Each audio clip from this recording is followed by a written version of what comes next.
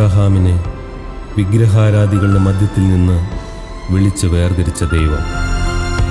കാലാകാലങ്ങളിൽ യുഗങ്ങൾക്കു മുമ്പേ മെനഞ്ഞെടുത്ത സ്വർഗീയ പദ്ധതിയിൽ തന്റെ മക്കളെ വിളിക്കുന്നു. തിരഞ്ഞെടുത്ത് വിശുദ്ധീകരിക്കുന്നു. ദൈവത്തിന്റെ പരിശുദ്ധ വേല ഫലമേൽപ്പിക്കുന്നു. നീലനദിയിലെ പെരുവെള്ളത്തിൽ തീർന്നു പോകേണ്ടതായിരുന്നു മോശയുടെ ജീവിതം.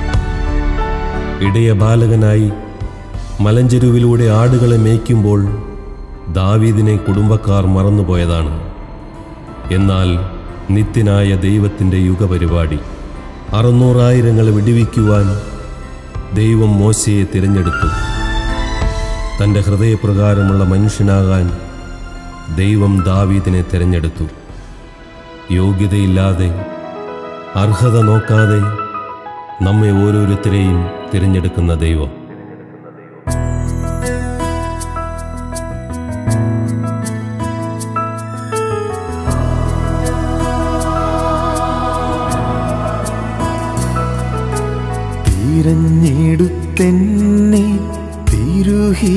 ചെയ്യുവാൻ ദേവനിൻ കരുണയിതേ.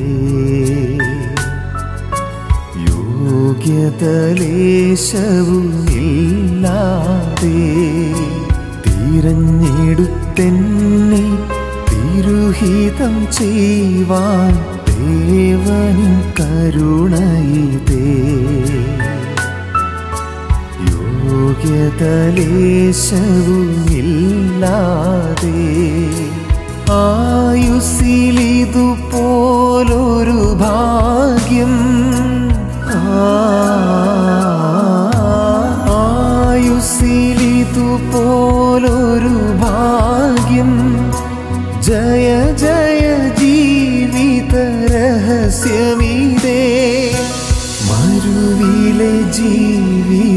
സമരത്തിൽ മരുവിലെ ജീവിത സമരത്തിൽ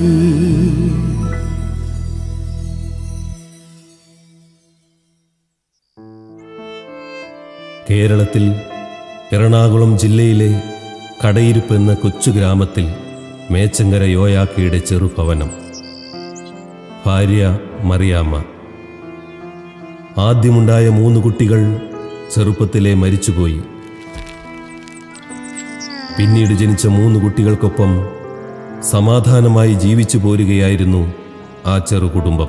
മൂത്ത മകൻ തോമാ തോമാക്കുഞ്ഞ് കൊച്ചുകുഞ്ഞെന്ന എം വൈ യോഹന്നാൻ. ഏക സഹോദരി ഏലിയാമ്മ.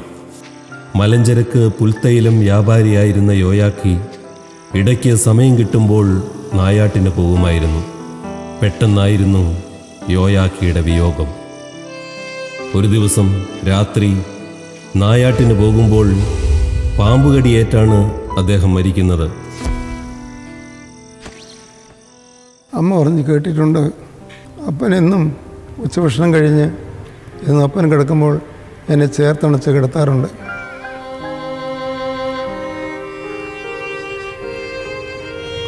അന്ന് ഉറങ്ങിക്കിടക്കുകയാണെന്നാണ് ഞാൻ ധരിച്ചത്. ഇന്നെന്താണ് എന്നെ ചേർത്ത് കണക്കാത്തത്? എന്നെ വിളിച്ച് കൂടെ കിടത്താത്തത് എന്ന് ഞാൻ ചിന്തിച്ച് അപ്പൻ മരിച്ചു കിടക്കുന്ന കട്ടിലിന് ചുറ്റും ഒരു വയസ്സുള്ള ഞാൻ പിടിച്ച് പിടിച്ച് ചുറ്റും ചുറ്റും നടന്ന അപ്പ അപ്പ എന്ന് വിളിച്ചുകൊണ്ട് നടന്നിരുന്നു എന്ന് അമ്മ സങ്കടത്തോടെ പറയുന്നത് ഞാൻ കേട്ടിട്ടുണ്ട്. ഹൃദയത്തെ നോവിക്കുന്ന ഓർമ്മകളായിട്ട് ഇന്നോ എല്ലാം എന്റെ ഹൃദയത്തിൽ ഊറി ഊറി കൂടുന്നു. അനാഥത്വത്തിന്റെ തേങ്ങലുകൾ ഉയരുന്ന വീട്ടിൽ ക്ഷണിക്കപ്പെടാത്ത അതിഥിയായി മരണദൂതൻ വീണ്ടുമെത്തി. കൊച്ചുകുഞ്ഞിന് രണ്ടു വയസ്സുള്ളപ്പോൾ ഏക ജ്യേഷ്ഠ സഹോദരനും ഈ ഭൂമിയിൽ നിന്ന് മാറ്റപ്പെട്ടു. മുപ്പതാമത്തെ വയസ്സിൽ വിധവയായ അമ്മ. ഒന്നും മനസ്സിലാകാതെ മരണത്തിന്റെ മണമുള്ള വീട്ടിൽ ഏലിയാമ്മയും കൊച്ചുകുഞ്ഞും മൂവരും മുഖത്തോട് മുഖം നോക്കി നിന്നു. പറക്കാൻ കൊതിക്കുന്നെങ്കിലും ചിറക് നഷ്ടപ്പെട്ട പക്ഷിയെപ്പോലെ അനാഥത്വവും ഏകാന്തതയും എന്നും അതിഥികളായിരുന്ന കാലം. സ്വന്തക്കാർ പലരും സഹായിച്ചിരുന്നു. കൃഷിയുണ്ടായിരുന്നതുകൊണ്ട് ഭക്ഷണത്തിന് ദാരിദ്ര്യമുണ്ടായിരുന്നില്ല. പക്ഷേ പണത്തിന് ദാരിദ്ര്യമായിരുന്നു. അമ്മ കൊച്ചുകുഞ്ഞിനെ ഒന്നാം ക്ലാസ്സിൽ കുമ്മനോട് സ്കൂളിൽ ചേർത്തു. വീടിനടുത്തുള്ള കടയിരിപ്പ് പ്രൈമറി സ്കൂളിൽ രണ്ട് മുതൽ നാല് വരെയുള്ള ക്ലാസ്സുകളിൽ പഠിച്ചു. ചെറുപ്പകാലങ്ങളിൽ എന്നും അമ്മയ്ക്കും കുഞ്ഞുങ്ങൾ രണ്ടുപേർക്കും അസുഖമായിരുന്നു. എന്നും കഷായവും വൈദ്യനുമായി കഴിഞ്ഞ ദുരിതകാലം.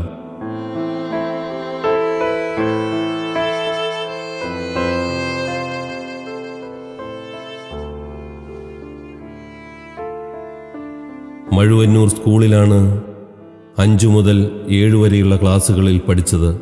അക്കാലത്ത് സ്കൂളിൽ പഠിക്കാൻ ഫീസ് വേണമായിരുന്നു. പ്രതിമാസം മൂന്ന് രൂപ. അത് കൊടുക്കാൻ വകയില്ലായിരുന്നതുകൊണ്ട് സ്കൂൾ മാനേജരായിരുന്ന രാഘവ വാര്യരുടെ അടുക്കൽ പോയി അമ്മ ഫീസ് ഇളവിന് അപേക്ഷിച്ചു. ഫീസ് ഒന്നര രൂപയായി ഇളച്ചു കിട്ടി. എന്നാൽ അതും കൊടുക്കാനില്ലാതെ അപ്പന്റെ അനുജന്റെ വീട്ടിൽ നിന്നും കടം വാങ്ങി അടച്ചു. ആണ്ടിലൊരിക്കൽ കുരുമുളകും കശുവണ്ടിയും വിൽക്കുമ്പോഴായിരുന്നു വായ്പ വാങ്ങിയ കടം കൊടുത്തു തീർത്തിരുന്നത്. പിതാവിന്റെ സഹോദരന്റെ വീട് തൊട്ടടുത്ത് തന്നെയായിരുന്നു. അവിടെ സ്വന്തക്കാരും വിരുന്നുകാരും വരുന്നതും പോകുന്നതും കണ്ടിരുന്ന കൊച്ചു മനസ്സിൽ തെല്ല് നൊമ്പരം. ആരുമെന്തേ ഞങ്ങളെ ഒന്ന് തിരിഞ്ഞു നോക്കാത്തത്? അറിയാം ഞങ്ങൾക്ക് അപ്പനില്ലാതെ ആയിപ്പോയതുകൊണ്ട് മാത്രം. തീരെ ചെറുപ്രായത്തിൽ തന്നെ മനസ്സിന് സന്തോഷമില്ലാതായി.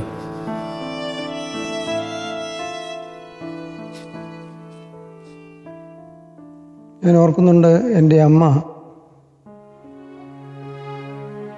അതിദുഃഖത്തോടെ കരയുന്നത്. അമ്മ കരയുമ്പോൾ ഞങ്ങളും കരയും.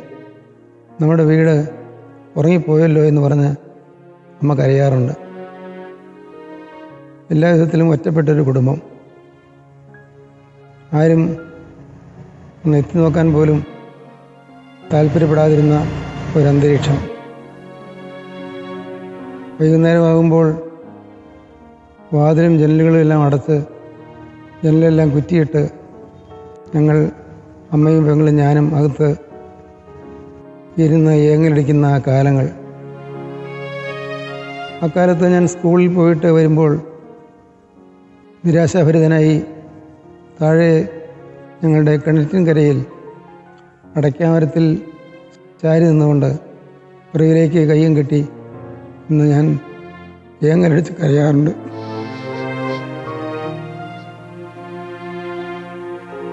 എന്നതെല്ലാം ഓർക്കുമ്പോൾ എനിക്ക് എന്റെ ഹൃദയം തരളിതമാകുന്നു. എന്റെ മനസ്സ് ആ ദുഃഖം വീണ്ടും ഏറ്റുവാങ്ങുന്നു. എല്ലാ വിധത്തിലും ദുഃഖം തളം കെട്ടിയ ഒരു വീട്. ഭാവിയെക്കുറിച്ച് പ്രത്യാശയില്ലാത്ത ഒരു കാലം. അമ്മ വേദപുസ്തകം വായിക്കുമ്പോൾ ഇരുന്ന് കരയും. പള്ളിയിൽ എന്നെയും കൂട്ടിക്കൊണ്ട് പോകുമ്പോൾ അമ്മ കരഞ്ഞുകൊണ്ട് കണ്ണീര് തുടച്ചുകൊണ്ട് പള്ളിയിലേക്ക് വരും.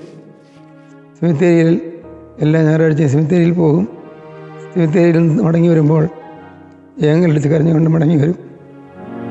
ദുഃഖത്തിന്റെ ആധിക്യത്തിൽ അപകർഷതാബോധത്തിൽ വലഞ്ഞുപോയ ആ കാലങ്ങൾ ഇന്ന് മനസ്സിൽ ഓർമ്മകളായി നിൽക്കുന്നു. അത് ഓർക്കുമ്പോൾ വീണ്ടും വീണ്ടും ഞാൻ ദുഃഖത്തിൽ ആണ്ടുപോകുന്നു.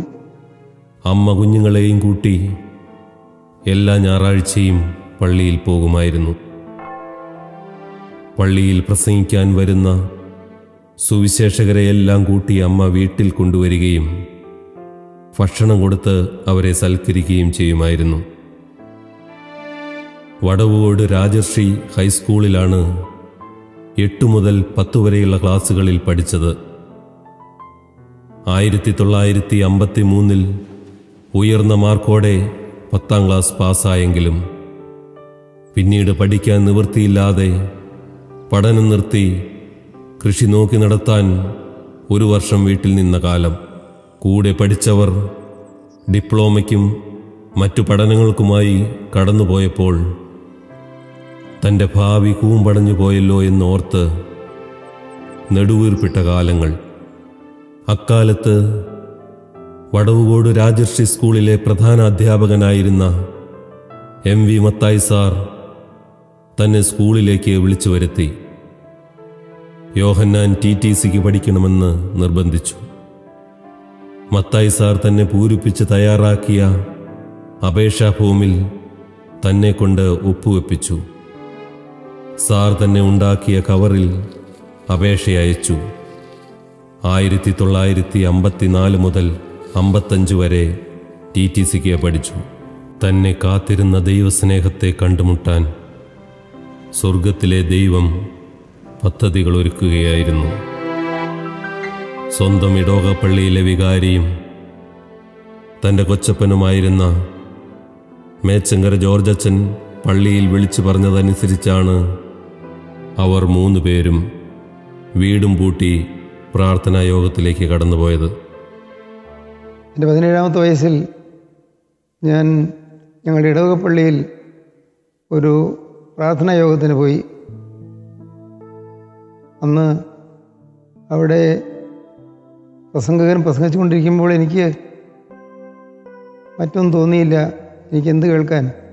എനിക്ക് പാവമൊന്നുമില്ലല്ലോ ഞാൻ അറിഞ്ഞാരെയും ദ്രോഹിക്കുന്നില്ല. എണ്ണപ്പെട്ട പാവങ്ങളൊന്നും എനിക്കില്ല. ഞാൻ ശുദ്ധ അശുദ്ധഗതിക്കാരനായി അവളുടെ വിനയത്തോടെ അവളുടെ എളിമയോടെ ഞാൻ ജീവിക്കുന്നു. എനിക്ക് കുഴപ്പമൊന്നുമില്ലല്ലോ എന്നാണ് ഞാൻ ധരിച്ചിരുന്നത്.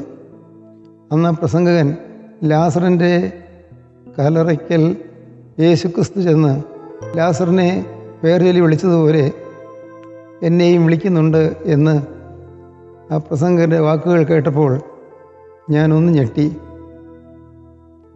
കാരണം ലാസറിന്റെ കലറയ്ക്ക് പുറത്ത് യാതൊരു അശുദ്ധിയുമില്ല ദുർഗന്ധവുമില്ല. അകത്താണ് ദുർഗന്ധമല്ല അകത്താണ് അശുദ്ധിയല്ല. അശുദ്ധമായ ചിന്തകൾ അകത്തുണ്ട് പക്ഷേ പുറമേ ഒന്നും വന്നില്ല. അങ്ങനെയുള്ള ഞാൻ അകമേ ഏറ്റവും ഹീനാവസ്ഥയിലാണ് എന്ന് പ്രസംഗകൻ പറഞ്ഞ വാക്കുകൾ എന്റെ ഹൃദയത്തെ അത്യന്തം വേദനിപ്പിച്ചു അതിന്റെ ഹൃദയത്തെ കീറി മുറിച്ചു. ഞാനും അമ്മയും പെങ്ങളും വീട്ടിലേക്ക് യോഗം കഴിഞ്ഞു വന്നു. അന്ന് രാത്രി അമ്മയും പെങ്ങളും ഉറങ്ങിയതിന് ശേഷം ഞാൻ എഴുന്നേറ്റിരുന്നു. ജീവിതമാകുവാനും പരിശോധിച്ചു. ചീഞ്ഞിളിഞ്ഞ ദുഷ്ടചിന്തകൾ വൈരാഗ്യം വിദ്വേഷം പക അപകർഷതാബോധം നൈരാശ്യം എന്നിങ്ങനെ അനേകം പാവങ്ങൾ എന്റെ ഉള്ളത്തിൽ ഉണ്ട് എന്ന് ഞാൻ വീണ്ടും ഏറ്റു പറഞ്ഞു അന്ന് ഞാൻ യേശുവിനോട് ഒരു കാര്യം പറഞ്ഞു കൊടുത്തായി ഇനിയുള്ള കാലം ഞാൻ യേശുവിന്റെ വകയായിരിക്കും ഞാൻ യേശുവിന്റെ സ്വന്തമായിരിക്കും. അങ്ങനെ ഹൃദയത്തിൽ വിശ്വാസം നിറഞ്ഞു ദൈവസ്നേഹം നിറഞ്ഞു ജീവിതം വഴിമാറി ജീവിതം വഴിതിരിഞ്ഞു. ദൈവസ്നേഹം അനുഭവിച്ച് ദൈവവചനത്തിന്റെ വെളിച്ചത്തിൽ ഒത്തുചേരുന്ന ഒരു കൂട്ടായ്മ അന്ന് ഇടവകപ്പള്ളിയിൽ ഉണ്ടായിരുന്നു. മാനസാന്തരാനുഭവമുള്ള ആ ദൈവമക്കളിൽ ഒരുവനായി ആത്മീയ ജീവിതത്തിന്റെ പ്രഥമ പാഠങ്ങൾ പഠിച്ചു തുടങ്ങിയ സുവർണകാലങ്ങൾ. ആ കൂട്ടായ്മ അനുഭവം ജീവിതത്തിന്റെ മ്ലാനത മാറ്റി തീരുമാനങ്ങളും സമർപ്പണങ്ങളും എടുക്കുംതോറും ആത്മീയ സന്തോഷം വർദ്ധിച്ചു വന്നു. തനിക്ക് സ്വർഗത്തിലൊരു അപ്പനുണ്ടെന്നുള്ള ഉറപ്പ് അനാഥത്വം അകറ്റി. ആദ്യ സ്നേഹത്തിന്റെ അനുഭവത്തിൽ ചുവടുകൾ വച്ച നല്ല നാളുകൾ. ആയിരത്തി തൊള്ളായിരത്തി അമ്പത്തഞ്ചിൽ വടവുകോട് രാജർഷി ഹൈസ്കൂളിലെ മിഡിൽ സ്കൂൾ വിഭാഗത്തിൽ ജൂനിയർ മോസ്റ്റ് അധ്യാപകനായി തന്റെ ഔദ്യോഗിക ജീവിതം ആരംഭിച്ചു. ആയിരത്തി തൊള്ളായിരത്തി അമ്പത്തൊമ്പതിൽ അധ്യാപന വൃത്തിയോടൊപ്പം ബി എ പ്രൈവറ്റായി എഴുതി. കേരള യൂണിവേഴ്സിറ്റിയിൽ നിന്ന് റാങ്കോടെ പാസ്സായി. പഠനത്തിന് സമയം തികയാതെ വരുമ്പോൾ പാഠത്തിന്റെ വരമ്പത്തുകൂടെയുള്ള സ്കൂളിലേക്കുള്ള യാത്രയിൽ പാഠപുസ്തകങ്ങൾ വായിച്ചു പഠിച്ച നാളുകൾ. ആയിരത്തി തൊള്ളായിരത്തി അറുപത് മെയ് ഒന്ന്. ആലീസുമായുള്ള വിവാഹം. അനുഗ്രഹീതരായ നാല് കുഞ്ഞുങ്ങളെയും ദൈവം നൽകി അനുഗ്രഹിച്ചു. വളരെ സൗഭാഗ്യകരമായ ഒരു കുടുംബജീവിതമാണ് ദൈവം എനിക്ക് നൽകിയത്. എന്നെ ജീവന തുല്യം അത്യധികം സ്നേഹിക്കുന്ന എന്റെ ഭാര്യ ആരിസ് എന്നും എന്നെ വളരെ ആദരവോടും സ്നേഹത്തോടും കൂടി തന്നെ സമീപിച്ചിട്ടുള്ളൂ എന്റെ മക്കൾ വളർന്നു വരുന്ന സമയത്ത് നല്ല അനുസരണമുള്ള ദൈവാശ്രയമുള്ള ദൈവഭയമുള്ള മക്കളായി അവയെ വളർന്നു വന്നു. അക്കാലത്ത് ഞാൻ നമ്മുടെ പള്ളികളിൽ അല്ലെങ്കിൽ സഭയിലെ മിക്കവാറും എല്ലാ പള്ളികളിലും ഞാൻ കൺവെൻഷൻ പ്രസംഗത്തിന് പോകുമായിരുന്നു. പക്ഷേ എന്റെ കോളേജിലെ ജോലി അല്പം പോലും ഉഴപ്പിക്കളയേണ്ടി വന്നിട്ടില്ല. യോഗത്തിന് വേണ്ടി ഞാൻ ഒരിക്കലും ലീവ് എടുത്തിട്ടില്ല. എനിക്ക് എന്റെ വിദ്യാർത്ഥികൾ എനിക്ക് എന്റെ വത്സല ശിഷ്യന്മാരായിരുന്നു. ഏതാണ്ട് പത്തൊൻപത് കൊല്ലം അങ്ങനെ ഭൗതികമായ ഉയർച്ചയിലും സന്തോഷത്തിലും സമാധാനത്തിലും ഞങ്ങൾ കഴിഞ്ഞു. ആയിരത്തി തൊള്ളായിരത്തി അറുപത്തി മൂന്നിൽ ബി എഡും അറുപത്തിനാലിൽ എം എയും പ്രൈവറ്റ് കോഴ്സായി പഠിച്ചു. അവിടെയെല്ലാം യൂണിവേഴ്സിറ്റി റാങ്ക് ഹോൾഡറായി സ്വർഗത്തിലെ ദൈവം നടത്തി. ആയിരത്തി തൊള്ളായിരത്തി അറുപത്തിനാല് ജൂലൈ മാസം ഏഴാം തീയതി കോലഞ്ചേരി സെന്റ് പീറ്റേഴ്സ് കോളേജ് ആരംഭിച്ച ദിവസം തന്നെ അവിടുത്തെ അധ്യാപകനായി. അങ്ങനെയിരിക്കെ ആയിരത്തി തൊള്ളായിരത്തി എഴുപത്തി മൂന്ന് മെയ് മാസം പതിനൊന്നാം തീയതി തിരുവനന്തപുരത്തു നിന്നും അനുഗ്രഹീത ദൈവദാസനായിരുന്ന നൈനാൻ സാർ തന്റെ വീട്ടിലെത്തി. സെക്രട്ടേറിയറ്റിലെ ഒരു ഉയർന്ന ഗസറ്റഡ് ഓഫീസറായിരുന്നു അദ്ദേഹം. മുപ്പത്തിയാറാമത്തെ വയസ്സിൽ ഒരു അത്ഭുതം എന്റെ ജീവിതത്തിൽ സംഭവിച്ചു. ഉറക്കത്തിൽ നിന്ന് പോലെ ആ കാലത്ത് എന്റെ ജീവിതത്തിൽ ഒരു തിരിഞ്ഞോട്ടത്തിന് കർത്താവ് അവസരം തന്നു. ഞാൻ ഈ ഭൂമിയിൽ കണ്ടിട്ടുള്ള ഉള്ളതിലേക്കും വിശുദ്ധനായ ഒരു ദൈവപുരുഷൻ ഈ എന്റെ ഈ ഭവനത്തിൽ കടന്നു വന്നു. അദ്ദേഹം സുവിശേഷ പ്രസംഗകനായിരുന്നില്ല. പക്ഷേ പ്രാർത്ഥന അദ്ദേഹത്തിന്റെ ജീവിതത്തിലെല്ലാമായിരുന്നു. അദ്ദേഹം അതിൽ നിന്ന് സ്തുതിച്ചപ്പോൾ അത് വഴിത്തിരിവായിരുന്നു എന്റെ ജീവിതത്തിൽ ആത്മീയ ജീവിതത്തിലും. ഞാൻ എന്നും അത്യന്തം സന്തോഷത്തോടെ ഓർക്കുന്നു അന്ന് വിശുദ്ധനായ ദൈവപുരുഷൻ ഞങ്ങൾ പപ്പായ എന്നാണ് അദ്ദേഹത്തെ വിളിക്കുന്നത്. അന്ന് അദ്ദേഹം പ്രാർത്ഥിച്ചപ്പോൾ എന്റെ ഉള്ളിൽ കൂടി ഒരു തീ ഒഴുകി എന്റെ സിരകളിൽ കൂടി തീ പാഞ്ഞു. എനിക്ക് വീർമൂട്ടുന്നത് പോലത്തെ ഒരു അനുഭവം ഉണ്ടായി. എന്റെ ദേഹവാസകളും ചൂട് പിടിച്ചു പിന്നീട് ആ ദൈവപുരുഷൻ പറഞ്ഞു ഇത് പരിശുദ്ധാത്മാവിന്റെ അഭിഷേകമാണ് എന്ന്. അന്ന് കിട്ടിയ ഒരു സ്വർഗീയ ദർശനം ഈ പ്രദേശം മുഴുവനും മാലാഖമാരെ കൊണ്ട് നിറഞ്ഞിരിക്കുന്നതെന്നാണ് എണ്ണിക്കൂടാത്ത പുരുഷാരും ഇവിടെ വന്ന് കൂടുമെന്നാണ്. ഇന്ന് പതിനായിരങ്ങൾ ഇവിടെ വന്ന് രണ്ടാം ശനിയാഴ്ച യോഗത്തിനും മറ്റും സംബന്ധിക്കുന്നത് കാണുമ്പോൾ ഞാൻ ഓർക്കും അന്ന് വർഷങ്ങൾക്ക് മുൻപ് ആയിരത്തി തൊള്ളായിരത്തി എഴുപത്തി മൂന്നിൽ ദൈവത്തിന്റെ പരിശുദ്ധാത്മ വെളിപ്പെടുത്തിയത് എത്ര കൃത്യമായി ഇന്ന് സംഭവിച്ചു എന്ന്. ഇടവകയിലെ പ്രാർത്ഥനാ ഗ്രൂപ്പിൽ നിന്നും ഉൾക്കൊണ്ട ചൈതന്യത്തിന്റെ വെളിച്ചത്തിൽ പള്ളികളിലും സുവിശേഷ കൺവെൻഷൻ വേദികളിലും മുഖ്യ പ്രസംഗകരിൽ ഒരാളായി മാറി.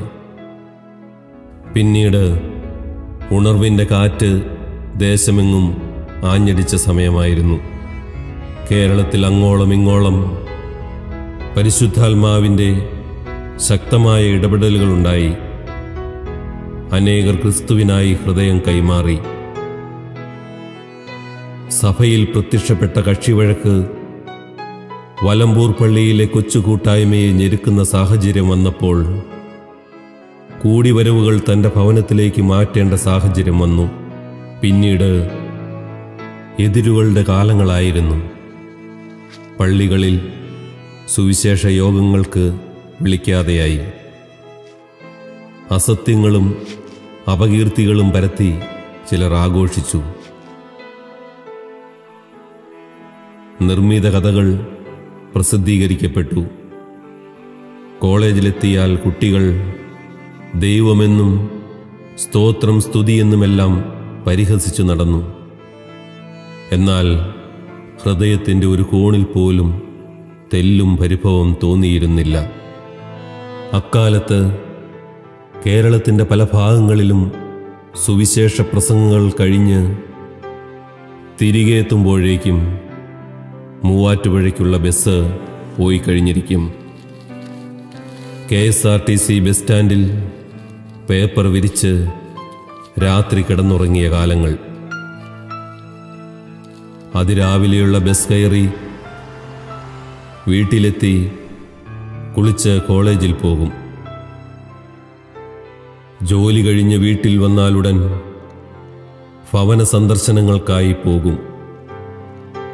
വേദനിക്കുന്നവരോട് യേശുക്രിസ്തുവിനെക്കുറിച്ച് പങ്കുവയ്ക്കും.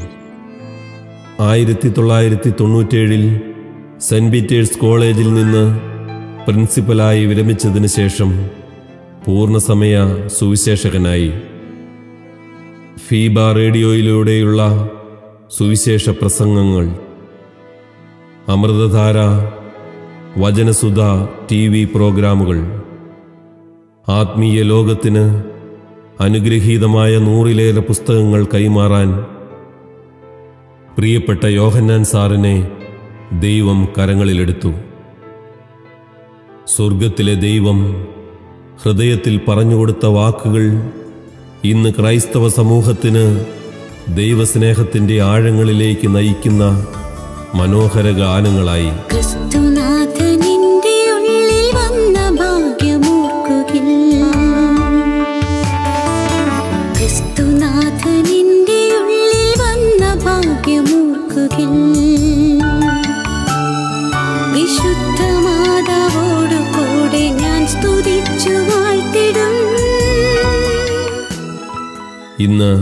അനേകായിരങ്ങൾ തങ്ങളുടെ ജീവിതത്തിന്റെ വാട്ടം മാറ്റിയ തങ്ങൾക്ക് വേണ്ടി ക്രൂശിൽ മരിച്ച യേശുവിനെ പാടി സ്തുതിക്കുന്നു.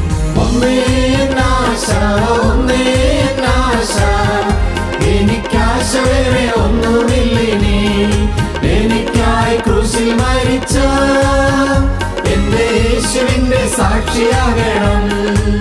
നാല് പതിറ്റാണ്ടുകൾക്ക് മുമ്പ് കടയിരിപ്പെന്ന ചെറുഗ്രാമത്തിൽ ആരംഭിച്ച് കേരളത്തിന്റെ എല്ലാ ജില്ലകളിലേക്കും ക്രൈസ്തവ മലയാളികൾ വസിക്കുന്ന ഇന്ത്യയിലെ ഒട്ടുമിക്ക സംസ്ഥാനങ്ങളിലേക്കും ലോകത്തിന്റെ അഞ്ചു വൻകരകളിലേക്കും സുവിശേഷ ദൗത്യമെത്തിക്കാൻ ക്രിസ്ത്യൻ റിവൈവൽ ഫെലോഷിപ്പിനെ ദൈവം തിരഞ്ഞെടുത്തു. എല്ലാം തകർന്ന് ഉള്ളം മടുത്ത് ആത്മഹത്യയ്ക്ക് ശ്രമിച്ച എത്രയോ പേർ ശാപത്തിന്റെയും രോഗബന്ധനങ്ങളുടെയും തീരാക്കുഴിയിൽ വലഞ്ഞുപോയ ആയിരങ്ങൾ.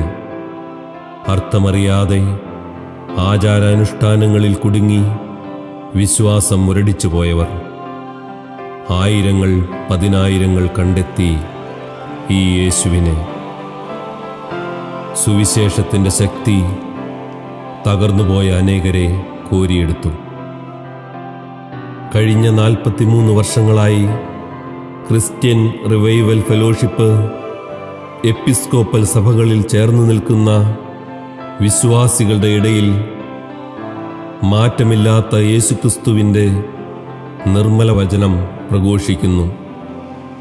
നിൽക്കുന്ന സഭയിൽ ഉറച്ചു നിൽക്കുക. ഇതര സഭകളെ ആദരിക്കുക. മതമല്ല ഹൃദയമാണ് മാറേണ്ടത്. എന്നീ മൗലിക ചിന്താഗതികൾ അനേകരെ യേശുവിലേക്ക് നയിക്കാൻ കാരണമായി. സഭയും സമുദായവും മാറണ്ട. ഹൃദയം മാറ്റുന്ന ക്രിസ്തുവിനെ ജീവിതത്തിൽ സ്വന്തമായി അംഗീകരിച്ച് ക്രിസ്തുവിന്റെ ക്രൂശിലെ ദിവ്യ ബലിയിൽ ആശ്രയിച്ച് ക്രിസ്തുവിന്റെ തിരക്തത്താൽ കഴിവുകൾ പ്രാപിച്ച് ഒരു വിശുദ്ധ ജീവിതം നയിക്കണമെന്ന് മാത്രമാണ് ഞങ്ങൾ പറഞ്ഞിട്ടുള്ളത്. ഞങ്ങൾക്ക് വേറെ ഉദ്ദേശമില്ല. നാളിതുവരെ ആരെയും സഭ മാറ്റിയിട്ടില്ല സമുദായം മാറ്റിയിട്ടില്ല മതം മാറ്റിയിട്ടില്ല. ഞങ്ങൾ ക്രൂശിക്കപ്പെട്ട ക്രിസ്തുവിനെ പ്രസംഗിക്കുകയാണ് ചെയ്യുന്നത്. ഇന്ന് ലോകത്തിന്റെ അഞ്ച് വൻകരകളിലും അനേകർ യേശുവിനെ അനുഭവിക്കുന്നു. നിത്യജീവനെ ലക്ഷ്യമാക്കി ജീവിക്കുന്നു. ഈ ഭൂമിയിലെ ഓരോ കുടുംബവും ഒരു കൊച്ചു സ്വർഗമാകണമെന്നാണ് പ്രിയപ്പെട്ട യോഹന്നാൻ സാർ ആഹ്വാനം ചെയ്യുന്നത്. ഇഹത്തിൽ സമാധാനം പരത്തിൽ നിത്യാനന്ദം.